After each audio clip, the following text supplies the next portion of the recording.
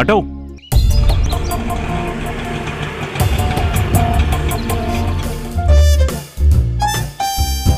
అతన్ని దించే ముందుగా ఎక్కిన గిరాకీ కదండి. పద్ధతి గల మనిషిలా ఉన్నావు. ఇలా ఉండాలని మీ అయ్యి నేర్పించాడా? ఇప్పుడు మా అయ్య సంగతి ఎందుకులే బాబాయ్?